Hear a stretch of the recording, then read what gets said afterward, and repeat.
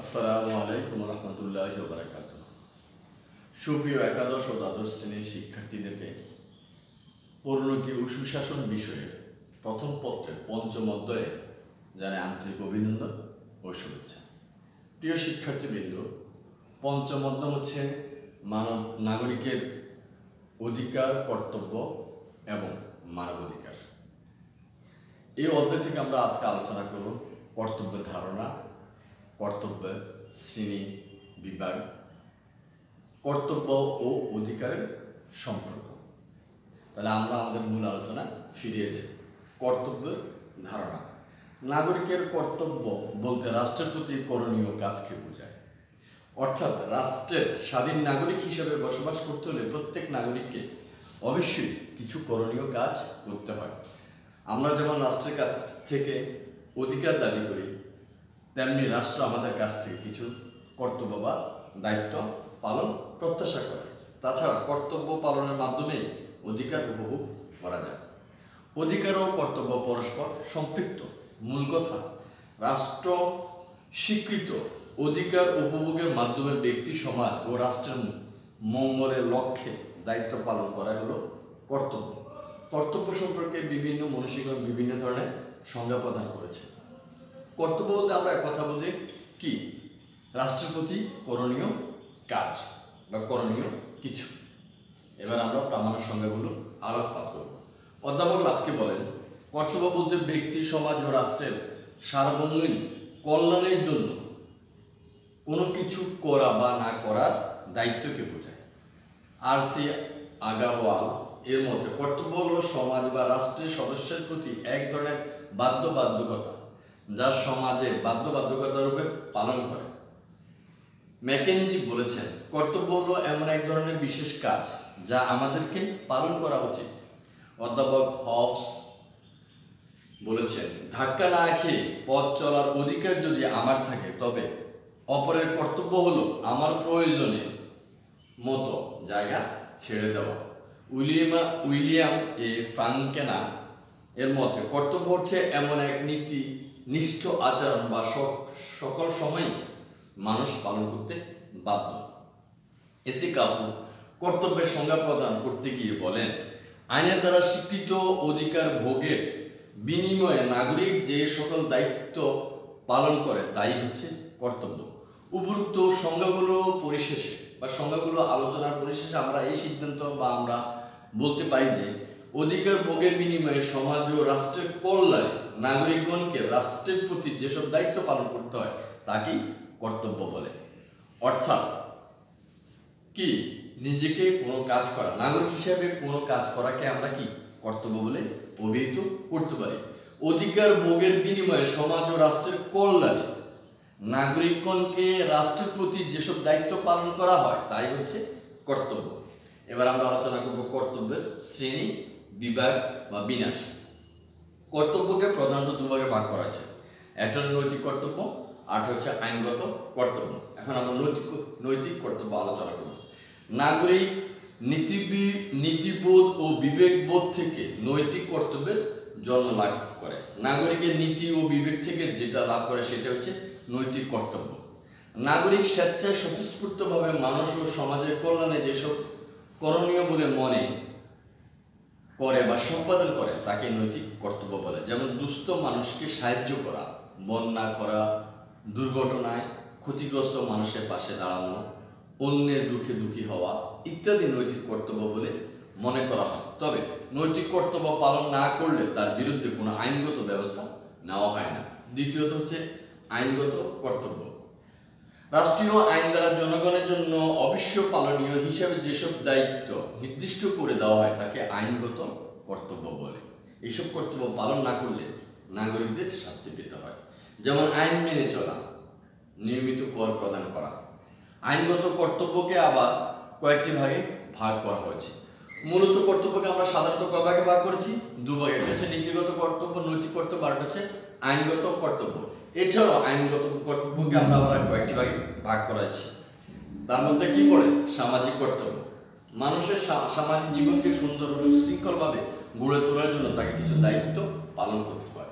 এসব করণীয় কাজকে বলা হয় সামাজিক কর্তব্য, যেমন সামাজিক সম্পর্ক গড়ে তোলা, সামাজিক অনুষ্ঠানের আয়োজন ও অংশগ্রহণ করা। সন্তান সন্তানদিকে শিক্ষাদান করা প্রভৃতি নাগরিকের সামাজিক কর্তব্যের অন্তর্ভুক্ত। রাজনৈতিক কর্তব্য। রাষ্ট্রের নাগরিক হিসেবে মানুষ কতিপয় রাজনৈতিক দায়িত্ব পালন করে, তাকে রাজনৈতিক কর্তব্য বলে, যেমন রাষ্ট্রের প্রতি আনুগত্য প্রদর্শন করা, রাষ্ট্র প্রণীত আইন মেনে চলা, সচেতনার সাথে ভোটের অধিকার প্রয়োগ করা, স্থানীয় জাতীয় পর্যায়ে রাষ্ট্রীয় কর্মকাণ্ডে অংশগ্রহণ ইত্যাদি রাজনৈতিক কর্তব্য, অর্থনৈতিক কর্তব্য।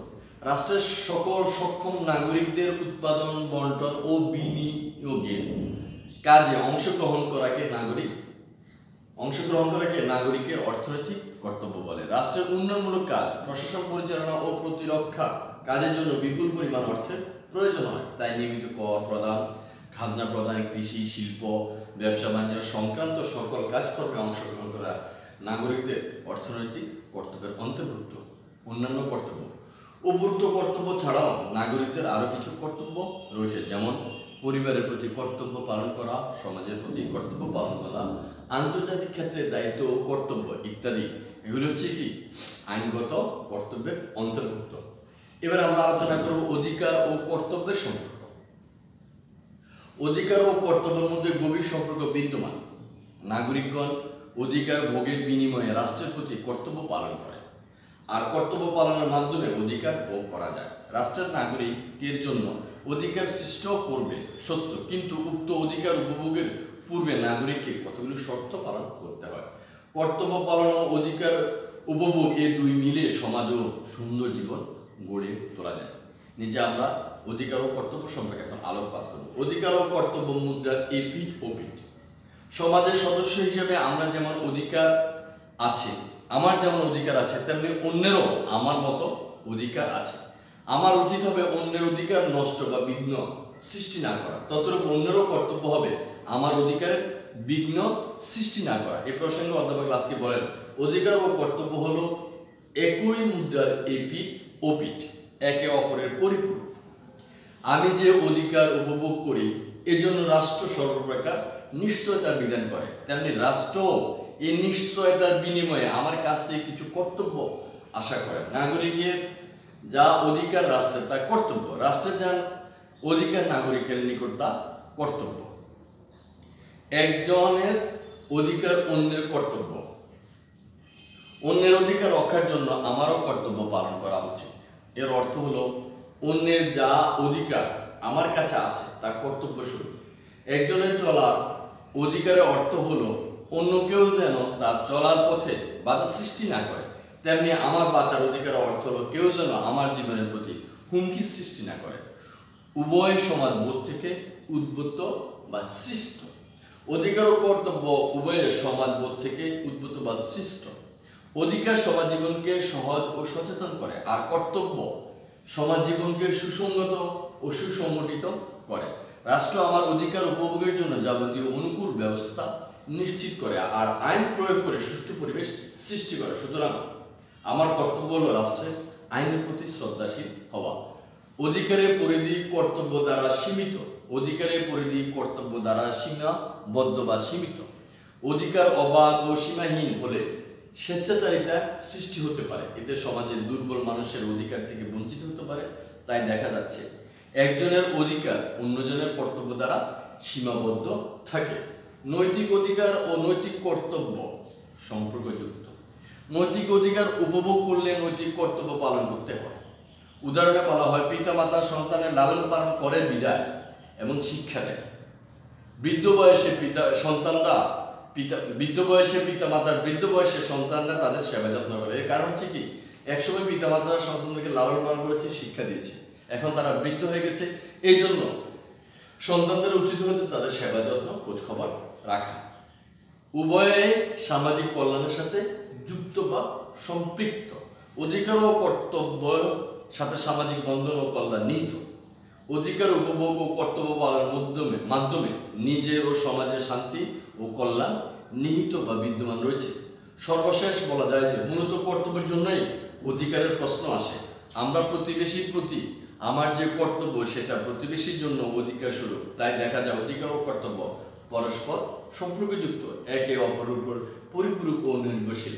প্রিয় শিক্ষার্থীবৃন্দ, আমরা এখন এই ক্লাসটাতে আজকের অন্ধকার অনলাইন ক্লাসে আলোচনা করেছি যে কি?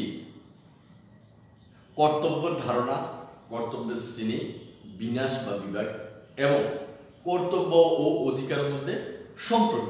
আজকের মতো এখানে আমাদের ক্লাস শেষ। আগামী ক্লাসে তোমাদের সাথে আবার দেখা হবে। এই প্রত্যাশা নিয়ে বিদায় নিলাম। আল্লাহ হাফেজ।